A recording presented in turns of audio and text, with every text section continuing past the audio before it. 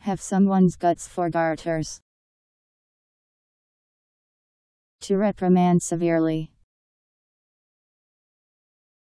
H A V E S O M E O N E S G U T S F O R G A R T E R S.